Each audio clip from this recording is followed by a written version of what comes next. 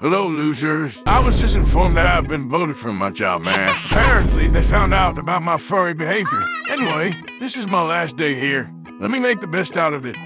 Hey, garbage boys. Today's shaping out to be the hottest day of the year.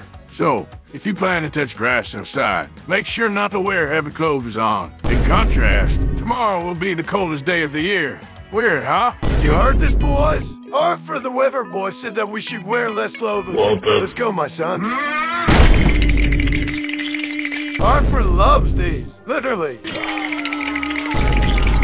I think that Arthur tricked me again. I'm freezing. We should go back and leave this for a later video. Oh, come, come, hell. come.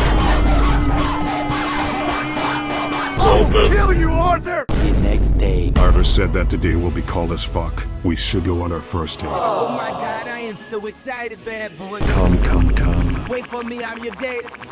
You were the worst date ever, man. Let me explain. Arthur pranked us. Yes, that is because he's the giga Chad. By the way, you were thinking, what the fuck? Please stay. No. I will kill you, sussy Arthur. Too easy, boys. Hey,